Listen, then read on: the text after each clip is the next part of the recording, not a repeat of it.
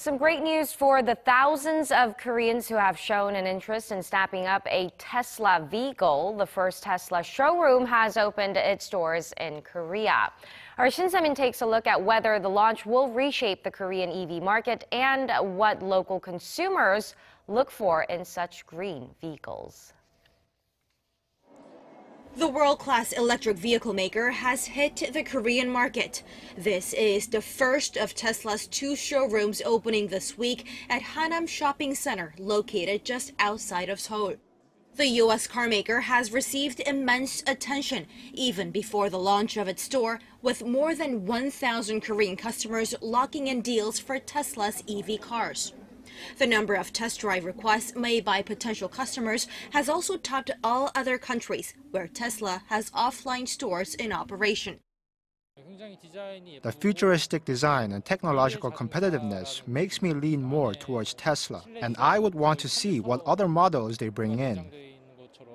So far, Tesla only has plans to deliver the Model S 90D luxury vehicle with a driving range of up to 378 kilometers on a single charge, by far the highest among all other electric cars out in Korea. The Tesla interface and technological performance of the built-in software nears that of a smartphone operating system, a reason why Tesla cars are called smartphones on wheels. But all this comes with a hefty price tag starting at 105,000 US dollars. On top of its stellar features, Tesla's key strength in pure electric car has geared up a keen interest, especially as Korea faces concerns about its air quality. Fuel efficiency is one thing, but with concerns about diesel cars mounting because of the environmental factor, as well as a potential tax hike, I want to check out new high-end EVs. The government, which has identified old diesel cars as a source of increasing fine dust and air pollution, has vowed to replace all diesel buses with natural gas powered vehicles. It has also warned it will toughen restrictions on diesel-powered vehicles, leading to higher sales of electric cars.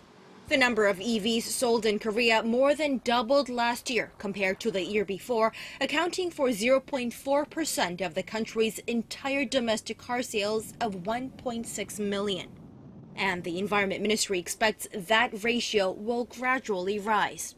Despite the growing interest in Tesla as well as EVs in general, there still remains the challenge of installing enough chargers to meet swelling demand from EV drivers.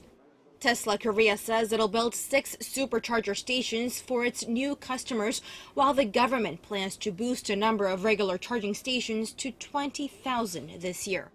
Shin Se-min, Arirang News.